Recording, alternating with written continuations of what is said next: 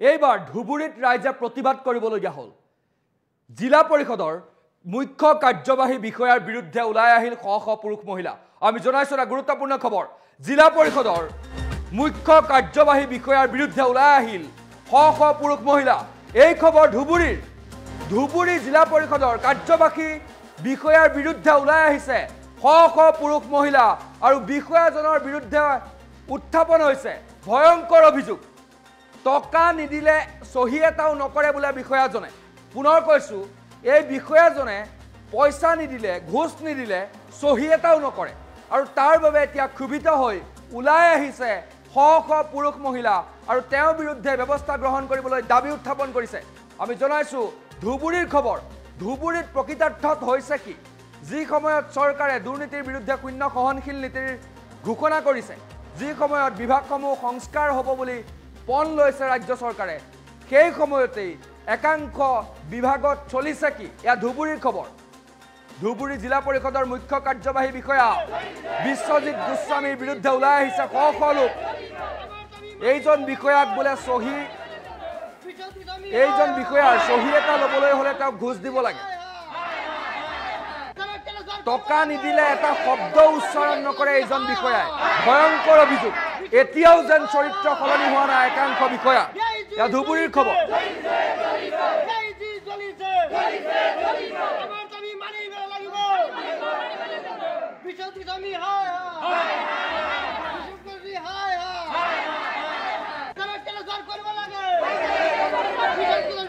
বিশ্বজিৎ গোস্বামীক প্ৰতিটো কামৰ বাবদ বিছৰ পৰা পঁচিছ শতাংশ দিব লাগে বুলি অভিযোগ উত্থাপন হৈছে। আৰু দুৰ্নীতিগ্ৰস্ত বিষয়া বিশ্বজিৎ গোস্বামীক নিলম্বনৰ দাবীত প্ৰতিবাদী কাৰ্যসূচী ৰাজপথতে শ শ পুৰুষ মহিলা। আমি দেখুৱাইছো ৰাজ্যৰ একাংশ বিভাগ গেলিছে। এয়া ধুবুৰীৰ দৃশ্যাংশ বিশ্বজিৎ গোস্বামী ধুবুৰী জিলা পৰিষদৰ মুখ্য কাৰ্যবাহী বিষয়াৰ বিৰুদ্ধে এতিয়া ৰাজপথত প্ৰতিবাদকাৰী শ শ পুৰুষ মহিলা। লজ্জাজনক চৰম লজ্জাজনক।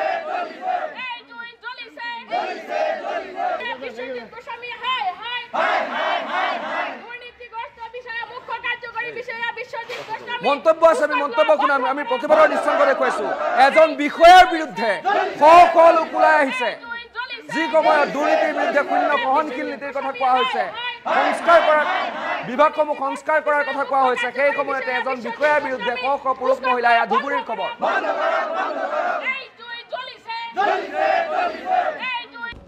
অফিচত মানে কি, যদি ধুবুৰীত থাকে, তেখেতে কি কৰে এইটো এটা অফিচ আৰু পি ডি তেখেতে পি ডি চাৰ্জত আছে। তেখেতে পি ডি অফিচতো বহে ডি আৰ ডি এতো বহে।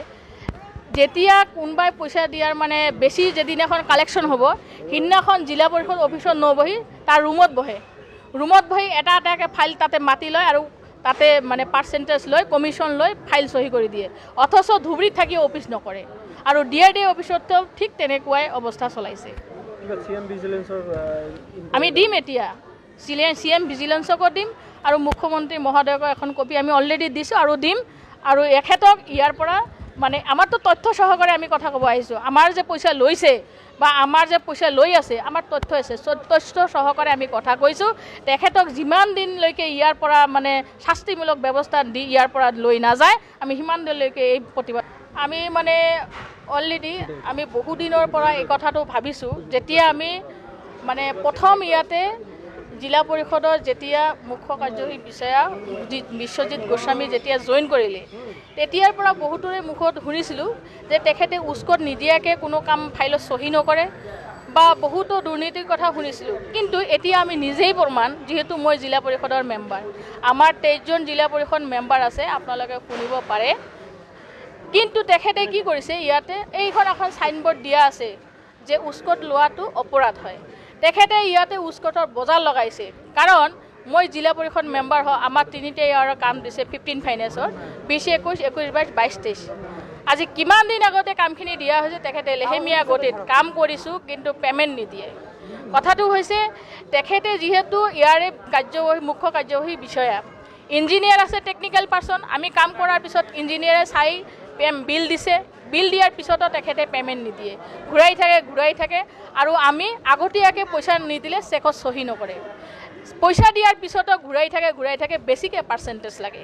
গতিকে আপোনালোকে চিন্তা কৰক আজি পাঁচ লাখ টকাৰ কামত তেখেতে টুৱেণ্টি পাৰ্চেণ্ট আগতীয়াকৈ এক লাখ টকা তেখেতক দিব লাগে। তো পাঁচ লাখ টকাৰ কামত যদি এক লাখ টকা দিব লাগে কাম কি কৰিব? মই নিজে দিছে। মই দুটা কামৰ পইচা দিছোঁ ফিফটি পাৰ্চেণ্টৰ দুটা কামৰ পইচা মোৰ পৰা লৈ আজি বহুত দিনৰ পৰা ঘূৰাই আছে। ইয়াৰ ভিতৰত দুবাৰকৈ মই ডি চি ধুবুৰী জিলা উপায়ুক্ত মহোদয়ক লগ কৰিলোঁ।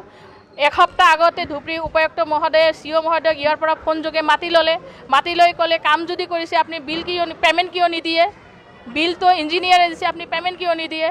তাৰপিছত ক'লে ছাৰ আজিয়ে দিম। আজি দিয়াৰ কথা কৈ আজি এক